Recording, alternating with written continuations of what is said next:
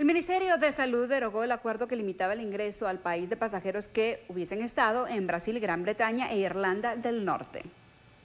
El Ministerio de Salud Pública y Asistencia Social publicó esta mañana en el Diario de Centroamérica el Acuerdo Ministerial 193-2021 que establece la derogación del Acuerdo Ministerial 88-2021 de fecha 14 de abril y el Acuerdo Ministerial 116-2021 de fecha 24 de mayo de 2021, donde se establecía la alerta sanitaria. Entre las consideraciones explican que derivado de los análisis técnicos realizados por las dependencias del Ministerio de Salud Pública sobre la situación actual de las mismas circunstancias que motivaron su emisión y que no persisten las mismas, se considera pertinente derogar los acuerdos citados. El acuerdo comienza a regir inmediatamente este jueves 7 de octubre, según el documento publicado. Salud publicó el acuerdo 88-2021 el pasado 14 de mayo de 2021 con el que acordaba una alerta sanitaria en limitar el ingreso a Guatemala a los extranjeros que habían estado en países de Brasil, Reino Unido de Gran Bretaña e Irlanda del Norte y Sudáfrica.